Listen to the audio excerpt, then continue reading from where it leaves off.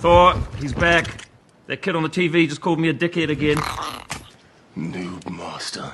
Yeah, Noobmaster69 called me a dickhead. This. Noobmaster, hey, it's Thor again. You know, the God of Thunder? Listen, buddy, if you don't log off this game immediately, I'm gonna fly over to your house, come down to that basement you're hiding in, rip off your arms, and shove them up your butt. Oh, that's right. Yes, go cry to your father, you little weasel. Thank you, Thor. Hey, let me know if he bothers you again, okay? Thank you very much. I will.